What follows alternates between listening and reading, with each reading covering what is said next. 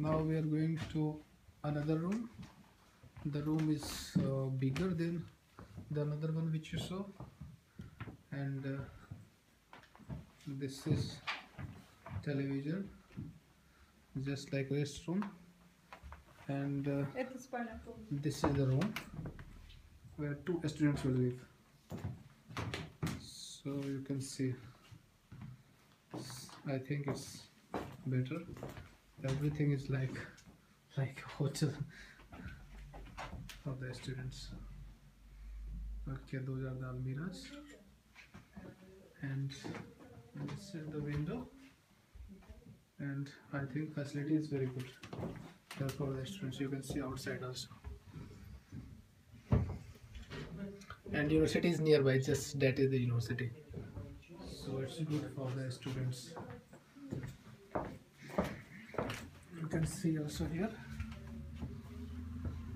Yeah bus is going.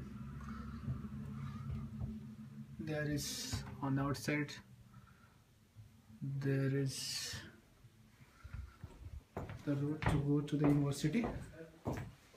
Light is sufficient to study. Almira separate almira and table chair for the students. And uh, this is this is where students can make their own food. So you can see all facilities available here. Just like a flat but this is a hostel. This is a hostel for our students. Very good facility i think.